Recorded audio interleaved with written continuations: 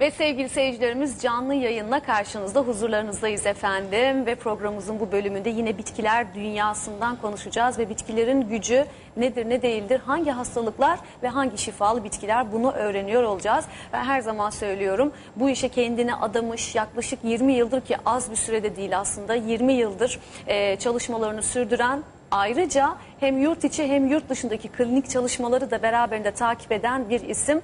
Ee, bu noktada birkaç sayılı isim var. Onlardan bir tanesi e, Herbalist sevgili İbrahim Gökçek'le birlikteyiz. Bu arada siz de bize ulaşabiliyorsunuz.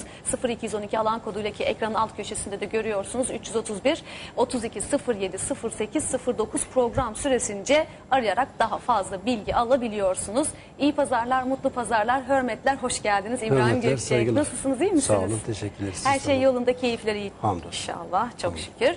Ee, hemen giriş yapalım. Bugün farklı farklı konu başlıklarımız var. Hepsine değineceğiz. Uzun da bir süremiz var. İnşallah o süreyi e, yeterli ve e, güzel bir şekilde değerlendiririz. Çünkü sizinle ne zaman program yapsak bize bir türlü süre yetmiyor. Ama bugün hepsini konuşalım İbrahim Beyciğim. Mesela kilolarımızdan bahsedeceğiz.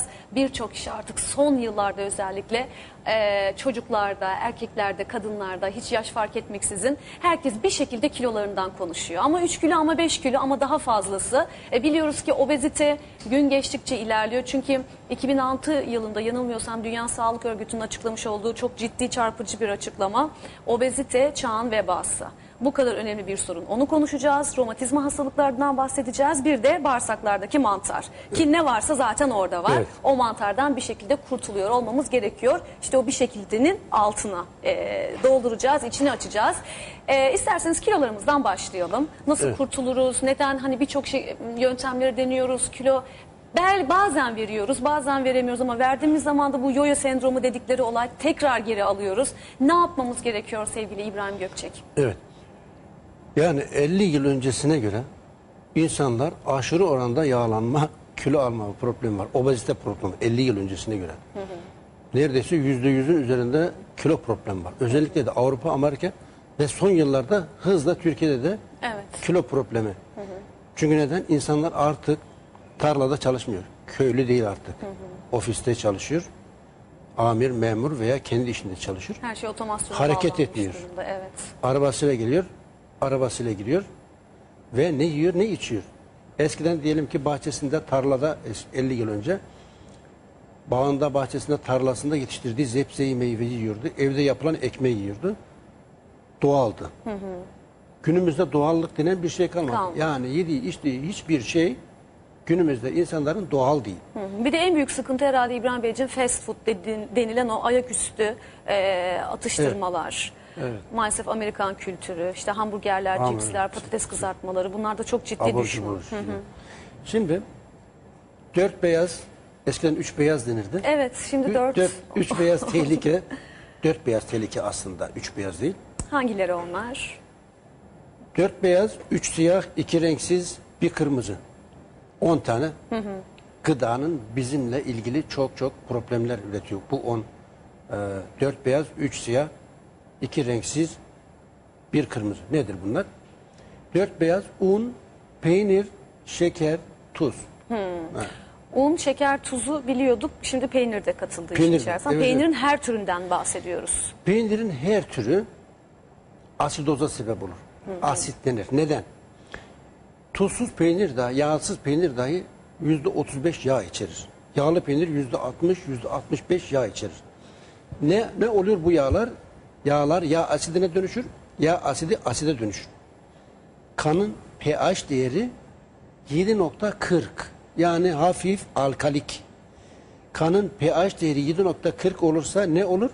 7.35'e doğru hafif kayarsa ne olur? 7.40 da bağışıklık sistemi güçlü. T hücresi, B hücresi mikropları yok edici özelliğe sahip, daha aktif. Hafif asidik ortama doğru kayarsa kanın pH değeri çok hafif. Asidik ortamda kanın hafif bir kaymada mikroplar daha hızlı çoğalır. Bu nedenle peynir kanımızı asidik ortama doğru hafif kaydırdığı için iltihapları azdırıcı özelliğe sahip. Bununla ilgili Amerika Birleşik Devletleri'nde McDougall Kadın Araştırmaları Enstitüsü yapmış olduğu araştırmada peynir yiyenlerin, bayanların özellikle idrarında aşırı oranda kalsiyum ve asit tespit ediyor. Ne demek? Peynir yiyorsanız yemiş olduğunuz peynirde mesela küçük bir kalıp peynir yedi 100 gram. 100 gramdan 200 miligram kalsiyum alıyorsa 500 miligram kalsiyum kaybediyor. Neden? Çünkü asidozu yok etmesi için bünyemiz aşırı oranda kalsiyum harcıyor. Asidi neyle birleştirecek? Kalsiyum, magnezyum, stransiyum, baryum gibi minerallerle birleştiriyor. Atmaya çalışıyor. Aksi takdirde hayati tehlike var. Fazla kayarsa 7.40'dan 7'ye doğru kayarsa ölüm tehlikesi var. O zaman Asidik peynir ortama. yiyerek yani kalsiyum eksikliği oluyor aslında vücudumuzda. Yani doğru bildiğimiz Peynir yedikçe aslında kişinin kemikleri eriyor. Önce kandaki kalsiyumu emiyor. Kanda, damarlarda kalsiyum oranı azalırsa azalan noktalara yağ tabakası oluşur, lipid oluşur. Bu nedenle damarlar yağlanır, daralır. Kalsiyumun damarlarda çoğalması damarları elastik hale getirir, rahatlatır.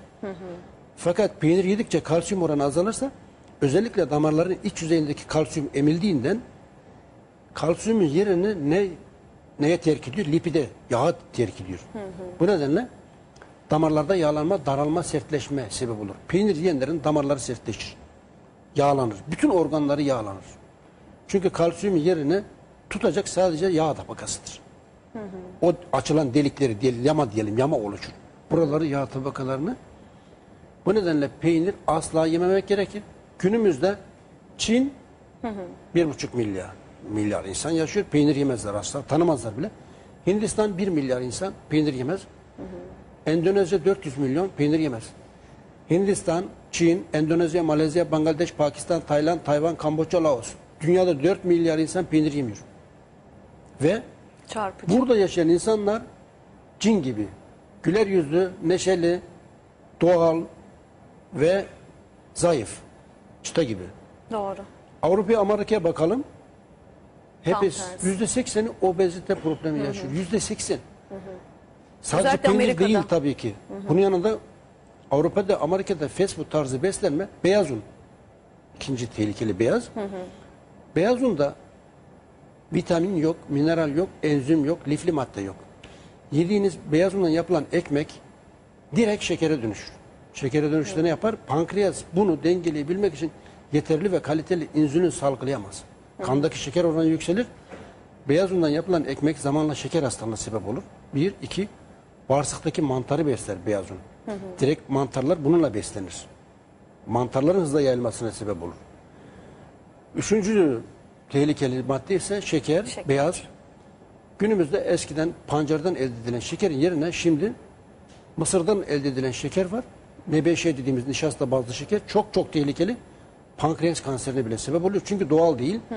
Mısır nişastası özel bir enzimle şekere dönüştürüyor. Bunun bu şekere dönüşüm sırasında ortaya çıkan şeker yumuşak, sümüşlü, süngerimsi bir madde. Bunun yüzde sekseni fruktoz. Bünyemize uymuyor. Uymadığı için bunu depoluyor. Karaciğerde yağlanma, pankreasta yağlanma, damarların üstünde yağlanma, beyinde, kalpte, kalp damarlarında ya bütün vücuda yağlanma olur. Son 100 yıl yani son zamanlarda pankreas kanseri yüzde 800 oranında artmıştır. Neden? N5'den dolayı. N5 nerede var? Çikolata, gofret, jelibon, chips yani bütün Abur bu cuburlar. Aa, her şey içerisinde dünyada da en çok N5 kullanan ülke Türkiye. Avrupa'da Amerika'da kotası var. Fazla üretemiyor. Sadece ilaç sanayinde üretiliyor, e, tüketiliyor. Dördüncü beyaz tehlike Tuz. Tuz, Tuz dedikse normal olarak doğal tuz şu Himalaya tuzu, Himalaya kaya tuzu. Deniz tuzun seks- denizin tuz 84 çeşit mineral içerir. Himalaya tuzu da 84 çeşit mineral içerir. Yani denizin aniden şok şeklinde kurumasıyla suyun çekilmesi kurumasıyla ortaya çıkmış bir doğal bir tuzdur. 84 çeşit mineral içerir. Himalaya tuzu damar sertliğine, asidoza ve ödeme karşı etkili. Peygamber Efendimiz demiş ki hadis var. Yemekten önce ve yemekten sonra bir miktar tuz sizi 70 tür hastalığa karşı korur demiş. Peygamber Efendimiz'in kastettiği tuz bu. Kaya tuzu, Himalaya tuzu. Bu şunun öğütülmüş hali. Böyle öğütülür. Kullanmadan önce öğütülürse daha iyi. Bu ve yemeklere katılır. Tadı güzel, Sofra tuzu olarak. aromatik, salatalara, yemeklere her şeye katılabilir. Yenebilir. Peki Himalaya tuzu yani eğer kullanacaksak Sofra da- tuzu zararlı. Neden sofra tuzu zararlı? Sofra tuzu Bakabilir miyim? kaya tuzu, göl tuzu, deniz tuzu içindeki bütün mineraller ayrıştırılıyor. Sofra tuzu beyaz parlak bir madde değil. Beyazlatıcı, kayganlık verici, parlatıcı alüminyum oksit, alüminyum silikat ve titan oksit gibi toksik maddeler katılıyor. Ağır. Evet. Sofra tuzunda 3 çeşit toksik madde var. Alüminyum oksit, alüminyum silikat, titan oksit. Yani kişi günde 5 gram tuz alsa aynı zamanda diyelim ki ortalama 5 miligram toksik madde alıyor. Nereye gidiyor bu toksik madde? Beyne etki yapıyor. Sinir sistemine, lenf sistemine vücudumuzda kalıyor. Atamıyoruz. Ve normal sofra tuzuyla birlikte zehirleniyoruz. Avrupa, Amerika'da mesela şimdi restoran, lokantalarda sofra tuzu kaldırıldı, yasaklandı. Evet. Çok çok tehlikeli. Damar sertliğine sebep olur, asidoza sebep olur, ödeme sebep olur. Himalaya tuzu ise damar sertliğini önler, asidozu önler, ödeme önler. Çünkü bunun içerisinde bir insan bünyesinin ihtiyacı olan her şey var. Bazıları da diyor ki ya sofra tuzuna veya Himalaya tuzuna ne gerek var? Tuzsuz beslenelim. Tuzsuz da beslenemezsiniz. O da mı sakıncalı? Sakıncalı. Neden? Neden? Çünkü beynimizin yüzde sekseni tuzlu su. Beynimiz tuzlu sudan oluşuyor. Yani tuz beyin, tuz olmasa ne olur? Beyin çalışmaz. Ya Allah geriye. Eyvah. O zaman tamam tuz Şimdi ana rahminde cenin rahim içerisindeki sıvı tuzlu sudan oluşur. Eğer ki tuzlu su olmazsa ana rahminde cenin mikroplara karşı kendini koruyacak hali yok, ölür. Yani zehirlenir, ölür. Birçok e, doğum vakalarında erken vesaire düşük yapmalarda tuz dengesizliğinden kaynaklanıyor rahimde. Yani insan beyni eğer ki bir anne hamile bir anne tuzsuz beslenirse Allah korusun çocuğu gerizekalı olabilir. Aa, Küçük çocuklar tuzsuz beslenirse gelişimi yavaşlar, engel olur. Ama normal tuz değil.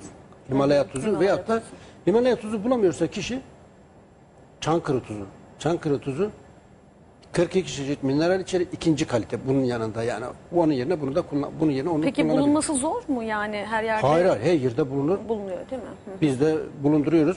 Bu da Himalaya tuzundan el- ikinci ikinci kalite Himalaya tuzundan elde edilen tuz lambası ampulü var. Yaktığınızda elektromanyetik iyonlar yayar yavaş yavaş. Nasıl ki cep telefonuyla konuşuyorsunuz ne yayıyor? Elektromanyetik negatif dalga yayıyor. Evet. Beyine zarar veriyor, kulağa zarar veriyor. Cep telefonu veya monitörle çalışıyorsunuz. Televizyonu seyrediyorsunuz. Her şey negatif bir iyon yayıyor ve zarar veriyor bize. Bu da doğada her şey, canlı cansız her şeyin bir elektromanyetik dalgası var. Bunun yaymış olduğu elektromanyetik dalga ise pozitif. Cep telefonunun, monitörün, bilgisayarın, televizyonun yan etkileri minimuma düşürüyor. Negatifleştiriyor. Bu nedenle her evde mutlaka bir tuz lambası bulundurmak, yatak odasında en azından bir de oturma odasında bulundurmakta fayda var. Allah Allah, çok Oturma odası, enteresan. yatak odasında. Evet, Yani çok çok yakarak önemli. o şekilde faydasını görüyoruz. Lamba gibi. Bu- bu Ama baktığımız lambası- zaman içeriği Bu lambayı yaktığınızda içerisindeki iyonlaşma hızlanıyor. Yani biraz daha fazla iyon yayıyor. Ya yakmak şart değil lambayı, yakmak şart değil. Yakmadan da olur. Mesela benim ofisimde çok büyük bir tuz lambası var şu kadar. Eğer daha da büyük bir tane değil de 9-10 tane olursa bu sefer baş ağrısı yapar. Çok fazla iyon nedeniyle. Yani bir tane büyük yeter. Otur yani sürekli çalışıyorsa, sürekli çalıştığı ofiste bir kişinin bundan daha büyük bir lamba olması şart. Ah, çok Yani çarpıcı, bulunmasında çok fayda ilginç. var. Sizin zaten bu araştırmacı ruhunuzu çok seviyorum. Değişik e, konulara e, temas ediyorsunuz ve gerçekten herkesin de ilgisini çekiyor. Bu arada bir iletişim bilgilerimizi hatırlayalım İbrahim Bey. Ondan sonra tekrar devam edelim sevgili seyirciler. E, farklı sorularınız için ya da merak ettikleriniz için e, görüyorsunuz ekran alt köşesinde 0212 331 32 07 08 09 3 hattı program süresince arayarak daha fazla bilgi alabiliyorsunuz. Evet. Üç siyaha geçelim. Üç siyah nedir? Üç siyah. Siyah çay, kahve, derken- kola. Çay, kahve. Çay, kahve, kola. Eyvah kahve. Dünyada çayı bizim gibi demleyen millet yok. Bir Kuzey Irak'ta bir de Yunanistan'da Türk yani Osmanlı eski Osmanlı toprağının olduğu yerde bizim gibi demleniyor. Bunun haricinde siyah çay iki dakikadan fazla demlenmez. Demlenirse ne olur? Siyah çayın birleşiminde binden fazla etken madde var. Mineraller, vitaminler, enzimler vesaire. birinci, ikinci dakikada eterik yağlar deme geçer faydalı. İkinci, üçüncü dakika flavonitler deme geçer faydalı. Üç dakikadan fazla demlenen çay tanin içerir. Tanin bağırsakları boyar, yağlı boya gibi. Ne olur? Virüs denen bağırsaklarda kanallar var. Buralar tıkanırsa kişide demir eksikliği, kalsiyum eksikliği, mineral eksikliği vesaire vesaire çıkar. Halsiz, dermansız, yorgun, bitkin kalır. Frankfurt'ta vatandaşın biri okey masasından kalkamıyor, yemek yemeye gidemiyor.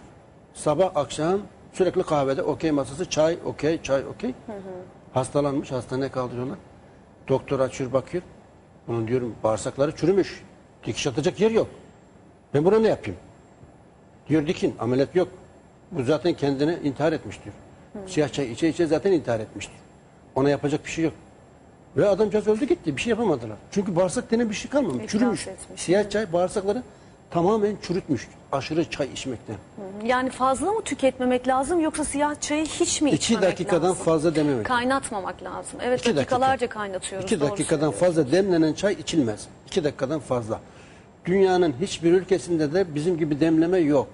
İki dakika. Şimdi ekran başında olup da bizi izleyen özellikle hanımlar şöyle diyordur. Ya İbrahim Bey öyle diyorsunuz da iki dakikada demlenen çay çay mı olur? Çünkü dakikalarca bazen yarım saati falan buluyor. Yani benim annem de biliyorum. O Allah o çay demlenir demlenir demlenir. Ondan sonra tadı güzel olur denilir hep. Damak Ama tadı- demek ki son derece zararlı. Çok çok. Tamak tadı 40 günde değişir. Bir kişi 40 gün et yemezse artık bazı e, insanlar var et kolik, et yemeden duramaz. Bazı insanlar var çay içer, çay koliktir, çay içmeden duramaz. Bazı insanlar kahve koliktir. Bazı insanlar alkoliktir. Bazı insanlar tiryakidir. Kolik oğlu kolik. Kolik yani Evet. hastalıktır. Hastalık bu rahatsızlıkla ilgili 40 gün mola verebilirse artık o tamak tadı yok olduğundan onu bırakabilir. Ben günde 2-3 demlik çay içmesem duramazdım ama şimdi içmiyorum. Problem yok.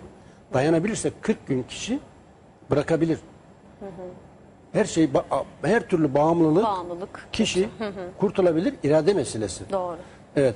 Kahve özellikle Türk kahvesi değil de Avrupa'dan gelen kahve zararlı direkt gastrite sebep olur. Mide mukozasını tahriş eder, tahrip eder.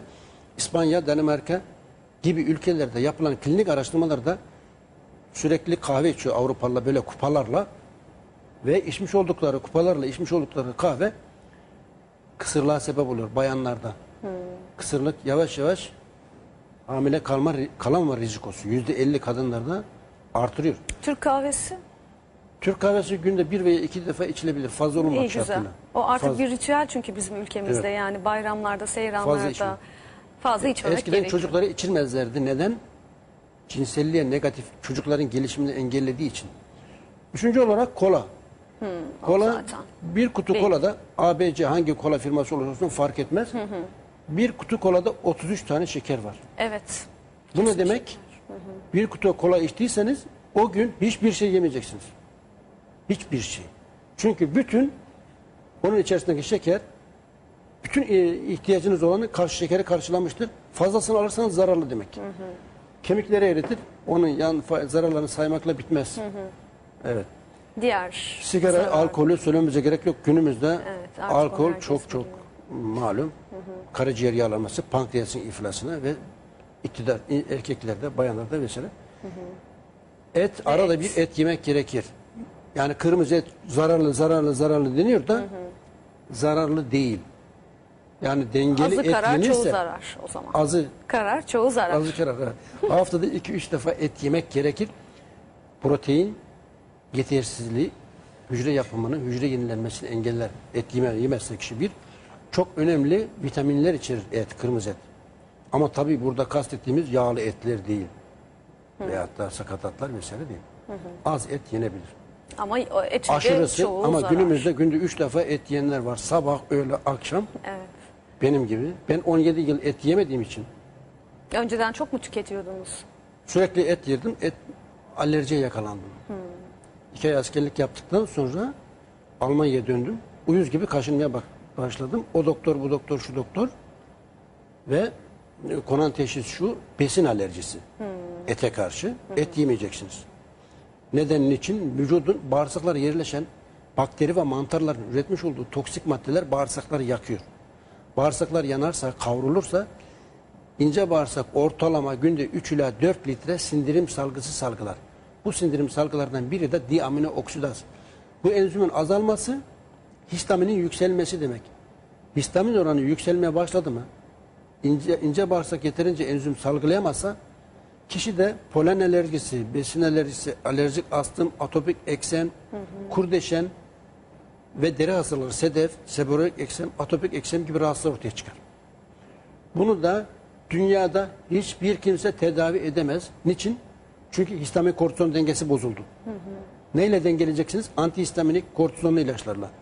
Antihistaminik ve kortizonlu ilaçlar deri incelmesine sebep olur, kemiğin erimesine sebep olur, hafıza kaybına sebep olur. Ben ilk zamanlar yani o zamanlar iksir, tonik vesaire üretmeden önce 25-30 yıl önce kortizon kullandım bir ara. Bir hafta falan. Günde 15-20 saat okuyup yazan bir kişi iken 10 dakika kitaba bakamaz oldum. 10 dakika. Yan etki. Çünkü hafıza Allah korusun. Baktım bu yavaş yavaş gideceğiz. Rahmetli Bülent Ecevit'e uzun süre yüksek dozajla kortizon verdiler.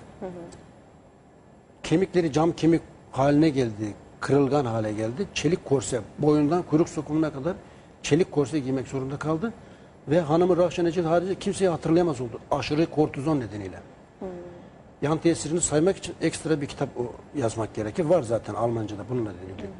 Yani kimyasal ilaçların maalesef faydası olduğu gibi mecbur kaldığı zaman kullanmanız gerekir.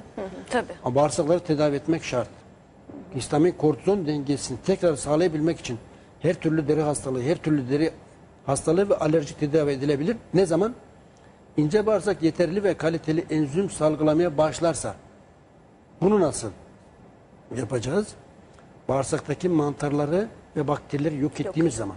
Yani dönüp dolaşıp yine e, bitkilerin kapısını çalmamız gerekiyor. Tabii. Yani Evet. yine bitkiler, bitkiler, bitkiler. Peki saydığınız işte unudur, şekeridir, tuzudur, etidir, içeceklerdir vesaire. Diyelim ki irademize hakim olduk ve dedik ki biz çok önemliyiz. Sağlığımız çok önemli. Çünkü sağlığımız en büyük servetimiz. O varsa her şey var. Yoksa zaten hiçbir şey yok değil mi? Ne kadar çok malınız, mülkünüz olursa olsun gerçekten sağlık kaybolduktan sonra hayat kabusa dönüşebiliyor.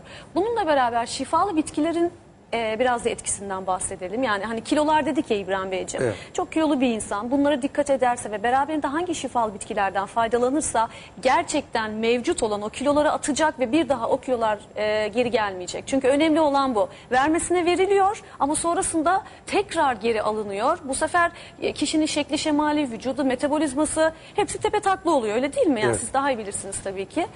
Ne yapmamız gerekiyor? Hangi şifalı bitkiler? Bundan İksir üç, tonik dört- yine devreye evet, mi giriyor? Evet. 3-4 ay önce bana 3 kişi, 3 kardeş, 2 kardeş bir de damatları bana geldiler. Azamcağızları boyları 1.92 metre maşallah. Ama karınları da böyle. Evet. Dedim ki ya bira içiyorsunuz veyahut da çok e, bağırsaklarınız mantar dolu ilaç kullanmışsınız. Alkol kullanmıyoruz. Abdestsiz namazlıyız. O zaman mantar dolu bağırsaklarımız dedim. Nereden biliyorsun? Söylemeye gerek yok. Çünkü bağırsaklar mantar olduğu zaman sürekli toksik madde üretiyor. Hamurlu, tatlı, nişastalı, pirinç pilavı da yese, beyaz undan yapılan ekmek, mantı, makarna, börek, çörek de yese, çikolata da yese, şeker içeren her şey, kola da ise, her şeyi mantarlar etan, metan, bütan gibi gaza dönüştürüyor. Etil alkol, metil alkol, bütil alkol gibi zehirli alkollere dönüştürüyor. Yani mantarları tetikleyen de antibiyotik ve kimyasal ilaç. Kimyasal ilaç kullanan herkesin bağırsağına mantar yerleşir. Mantarlar da toksik madde üretir. Nereye gidiyor bu toksik madde? Yakıyor bağırsakları. Elimizi ateşe kaç dakika tutabiliriz? Bir dakika tutamayız. Tabii. Ama bağırsaklarımız sürekli bu toksik maddeler yakıyor. Bağırsak kendini korumak için ne yapıyor? Çok yoğun bir yağ tabakası oluşur. Ve kişinin bağırsakları artık genişliyor, açılıyor, yayılıyor, sığmıyor. Bir kaz oluşuyor. Alttan yukarı doğru kaz tabakası mideyi, karaciğeri, pankreası, dalağı yukarı doğru sıkıştırıyor. Bu organlarda diyaframı, diyafram akciğeri sıkıştırıyor. Akciğer kalbi sıkıştırıyor. Eyvah. Vatandaş zannediyor ki kalbim var. Kalbine böyle batmalar başlıyor. Nefes darlığı çekiyor. Veya bronşitim, astımım var zannediyor. Aslında kişinin, çok insanın çoğunun ne kalbinde rahatsızlık var, ne bronşit problemi var, ne nefes darlığı. Tek bir problem var, bağırsaktaki mantar. Mantardan kurtulduğu zaman hem deri hastalıklarından hem alerjik hastalıklarından kurtulur hem de bu nefes darlığı, nefes alamama, verememe, kalp rahatsızlığından kurtulur. Hem de o az önce örnek vermiş olduğunuz kötü görüntüden Tabii. kurtulur. Yani hamile gibi. evet. Öyle bir vakayla yine karşılaştım. Marketten alışveriş yaptım. Poşeti alacaktım. Yani birine çarpıyordum. Özür dilerim bayan diyecektim. Baktım beyefendi, bir beyefendi. O, da böyle böyle kilolu. karnı böyle şişmiş. Bir de Erkeklerde zaten klasiktir. Kilo direkt göbekten alınıyor. Hani bayanlarda nasıl Bayanlar da genellikle karın kalça basar. kalçaya basın. Fakat mantardan kaynaklanıyor. Aşırı ilaç. Bu kilo almaktan çok şişkinlik, gaz oluşuyor. Vatandaş diyor ki hiçbir şey yemesem de şişiyorum diyor. Hiçbir şey yemese de. Bir dilim ekmek yese de yetiyor. Çünkü bir ton gaz üretiyor. Halkalı çöplüğünü hatırlarsın eskiden. Halkalı çöplüğü patladı. insanlar havaya uçtu. Binalar havaya uçtu. Neden? Çünkü çöplükün Doğru. sızıyor oradaki besin artıkları, gıda artıkları ve mantarlar bunu toksik maddeye dönüştürüyor. Etan, metan, bütan gibi gazlar sıkışan gaz zamanla ne yapıyor? Koskoca binalar bile havaya uçurabiliyor. Bağırsaklarımızdaki gaz ne yapıyor? Sıkıştırıyor bütün organları. Ve, bir nefes alamıyor insanlar veyahut da yürüyemiyor. Halsiz, dermansız, adım atamıyor. O hale geliyor. O durumda vücudumuzdaki organları havaya uçuruyor. Evet. Yani. Evet, mantara karşı ne yapmak gerekir? Evet. Mantara karşı bu aloe vera şu gördüğünüz bitki dünyada en etkili bitkidir. Bununla ilgili Amerika Birleşik Devletleri'nde tadı acı olduğu için size vermiyorum. Tadına baktığınız geçen. Yok daha bakmayacağım tadına ama tabii biz ham haliyle baktık. Oysa ki sayısız nimetlerinden faydalanıyoruz. Ee, ama siz rahat rahat tadına Ee, ben bakıyorsunuz, bakabilirim. yiyebiliyorsunuz. Ama isterseniz bir uzatın size zahmet olmazsa. Belki yeni, hani çünkü aloe vera o isim olarak çok aşinayız. Bir kulak aşinalığı var ama nedir ne değildir, nasıl bir bitkidir? İşte sevgili seyircilerimiz meşhur aloe vera, aloe vera değil mi? Doğru Aloe vera. telaffuz ediyorum. Böyle bir şey. Ben bunu peygamber kılıcına benzetiyorum biraz da. Böyle dikenimsi, şöyle bir şey. Ne varsa bunda var. Eskiden Birçok sarı sağ- sabır denirdi. Nasıl? E, e, sarı sabır. Sarı sabır. Sarı sabır. E, Türkçe eski ismi. Şimdi aloe, Aloe vera. vera, aloe vera Arapçadan Birçok sektörde Latince'ye kullanılıyor. geçmiş. Yani gerçekten Şampuanı var, kremi var. Losyonu var. Yani Buyurun. saç bakımı için, deri cilt bakımı için vesaire. Şimdi Amerikalılar, Avrupalılar, Asyalılar bunun jelini, bundan ilaç üretebilmek için bu yaprağın içindeki bu jeli çıkarıyorlar özel bir yöntemle. Haşlıyorlar. Haşlandığı zaman ne oluyor? Kaynatıyorlar kazanlarda. 20 çeşit amino asit var. Amino asitler bozuluyor. 1.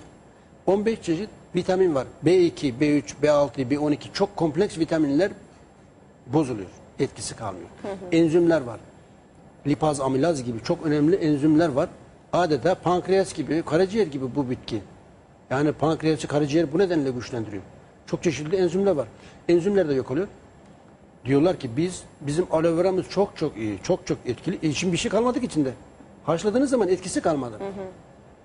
Ama onlar da bunu haşlamak zorunda. Neden? Çünkü çok az miktarda aloin var. Sürekli ve düzenli olarak bu aloe vera jeli kişi kullanırsa ishal yapar veya şişkinlik yapar. Bunu önlemek için kaynatmak zorundalar. Doğal üretemez. Hiçbir kimse dünyada doğal üretemez. Ben de 19 yıl önce bununla ilgili çalışmalar yaptım ama yan tesirlerini görünce dedim ki buna bir metot, yöntem bulmalıyım. Öyle üretmeliyim. Çünkü bir anlamı yok. Kaynattığın zaman etkisi kalmıyor. tabii. Kaynatmadığınız zaman ishal yapıyor. 19 yıl sonra hamdolsun başarabildik. Kaynatmadan, haşlamadan 19 çeşit başka bitkiyi ilave ederek aloeni sıfırladık. Etkisini artırdık. Etkisi %100. Yan tesiri sıfıra düştü. Yok, güzel. E, bu aloe vera'nın ürünü ürettik. Aloe vera jel. Bunun birleşiminde sinirli ot, zencefil, zerdeçal, lavanta, ada çayı, 19 çeşit bitki var. Bu bağırsaktaki mantara karşı dünyada en etkili ürün. Bağırsaktaki mantar. Bağırsaktaki mantarları yok ettiğiniz zaman toksik madde de azalır.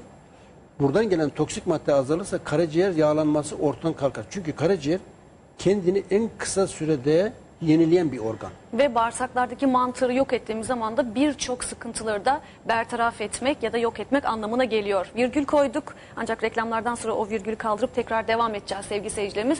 Bu arada siz de arayabilir daha fazla bilgi alabilirsiniz. 0212 331 32 07 331 32 08 ve 331 32 09'u arayabilirsiniz. Çok kısa bir reklam arası dönüşte tekrar karşınızda olacağız.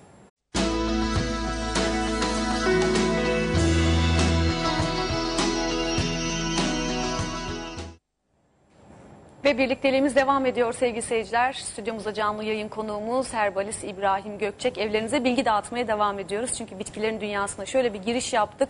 Zaten ne varsa bitkilerde var galiba. Çünkü her zaman söylüyoruz. İlk insandan günümüze şifalı bitkiler çeşitli, sayısı, sayılı, ismini, cismini bilmediğimiz ama gerçekten sağlık noktasında da önem arz eden çok ciddi bitkiler var ama hep altın çiziyoruz.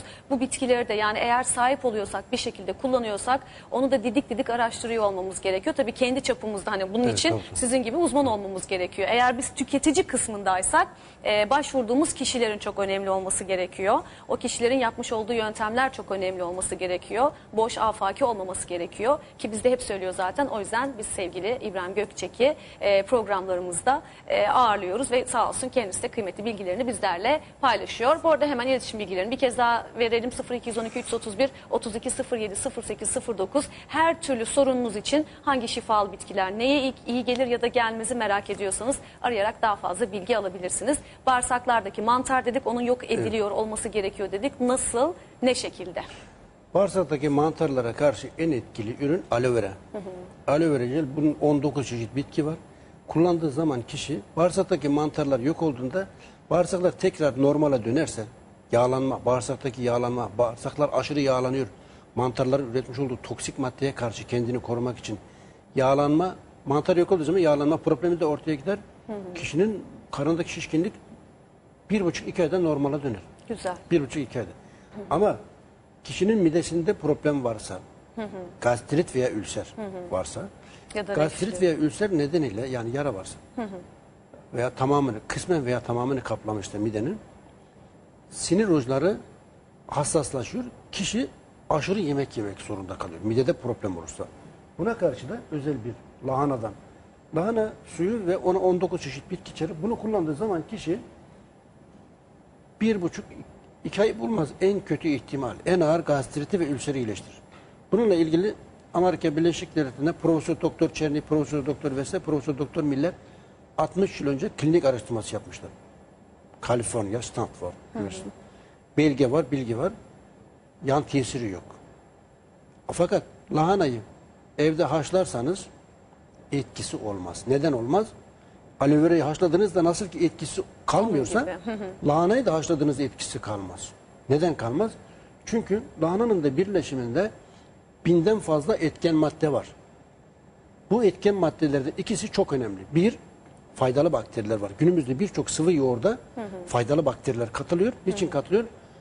Bu e, laktobazillus ve bifidobakterileri vitamin e, üretiyor. B6, B12 gibi, K vitamini çok faydalı. Ve yağları yağ asitine dönüştürüyor. Proteinleri amino dönüştürüyor. Yani sindirim sisteminin faydalı bakteriler sayesinde düzene giriyor. Bunun içerisinde doğal olarak faydalı bakteri var. Yoğurtlara katılan laktobazillus ve bifidobakterileri o yoğurtlara katılan faydalı bakterilerin binlerce katı var. Kişi bunu kullandığı zaman bir midesindeki bakteri, Helicobacter pylori'yi yok eden çok özel bir enzim içerir. E, metilmetilonun sulfonyum bromid denen bir amino asit. Bu Helicobacter pylori gastrite veya ülsere yüzde seksen bu bakteri sebep olur. Akıllı bakteri de denir. Bu mideye yerleşmek için özel bir sabun köpüğü gibi köpük salgılar. O köpük sayesinde mide mukozasına yerleşir. Mukozanın altına geçtikten sonra köpüğü atar, tahribata başlar. Ve buna karşı gastrit veya ülseri yok etmek için kullanılan antibiyotikler belki bakteri yok eder fakat bu sefer o antibiyotikler bağırsaklara çok amansız mantarların yerleşmesine sebep olur. Çünkü her türlü antibiyotik zararlı veya faydalı bakteri yok ederken mantarları azdırıyor. Mantara karşı ilaç çok. Mantara karşı aloe vera jel. Eğer midede gastrit veya ülser varsa ki o zaman kişi kilo verse de yine kilo alır. Çünkü sinir uçları hassaslaşıyor. kişide, kişide sürekli açlık duygusu uyanıyor. Mide ve bağırsak problemleri olan kişiler asla zayıflayamaz. Zayıflasa da 30 kilo verse 35 kilo alır bıraktığı Evet. zaman diyeti.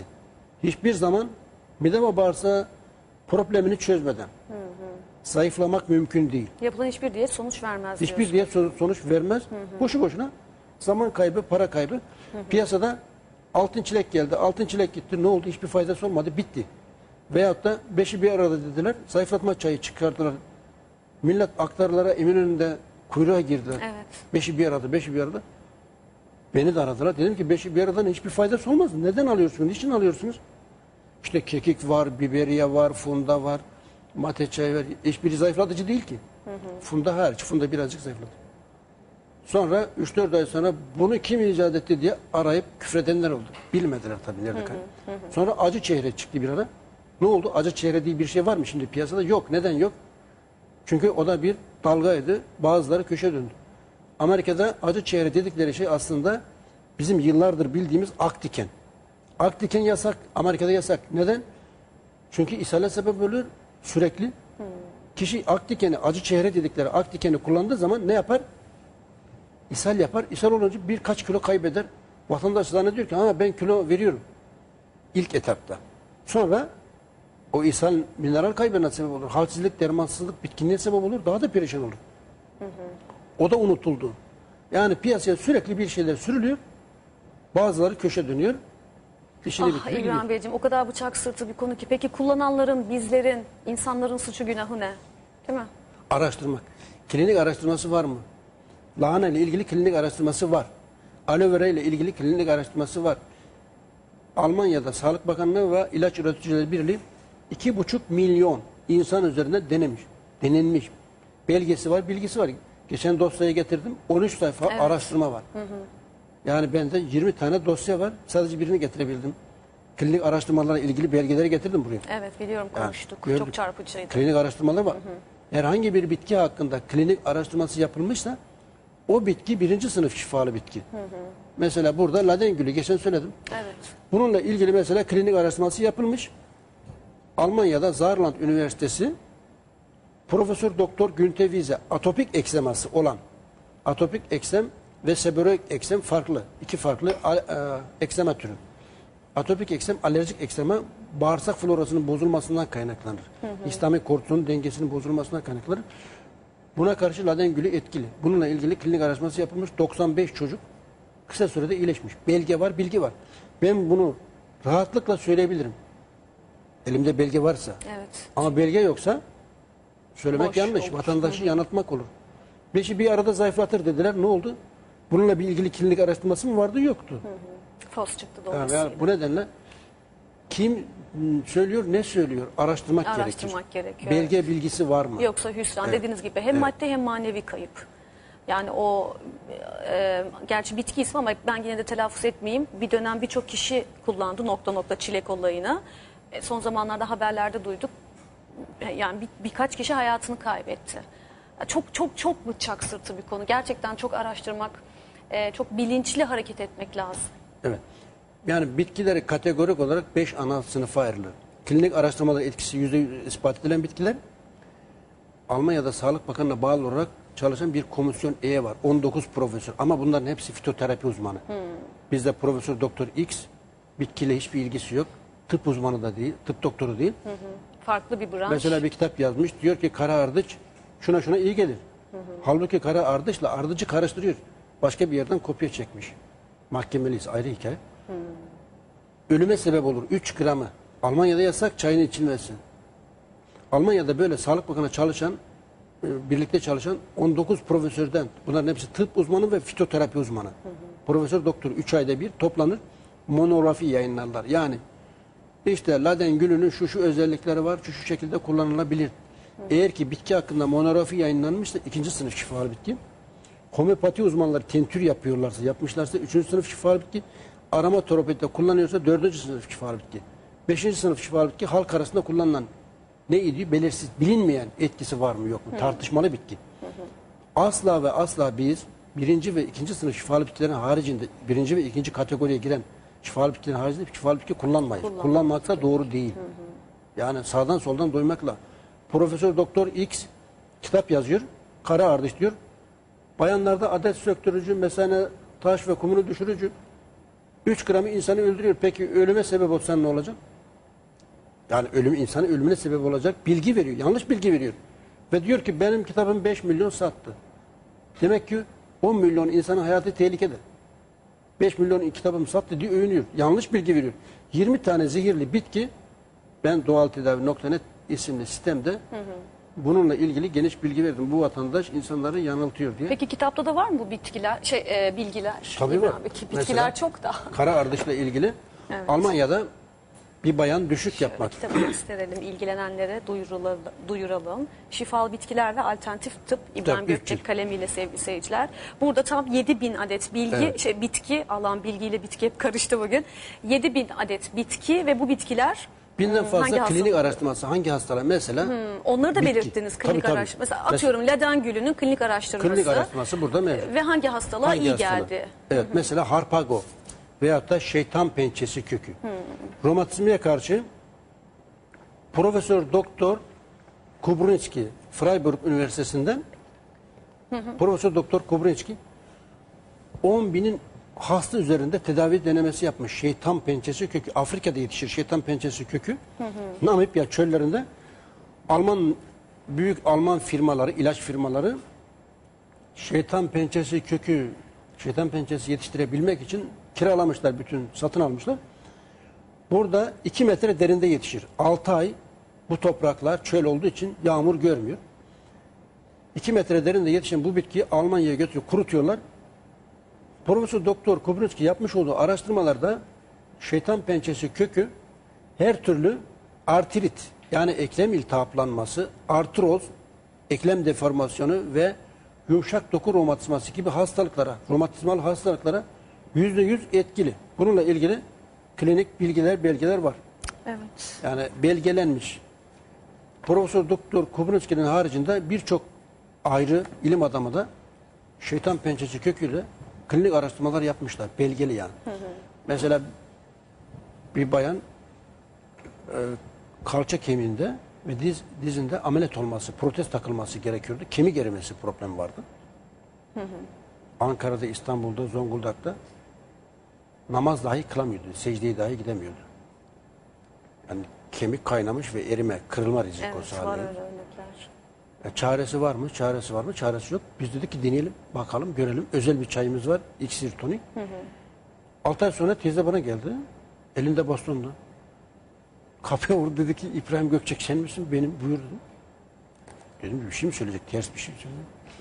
Dedi yok kızmayacağım dedi.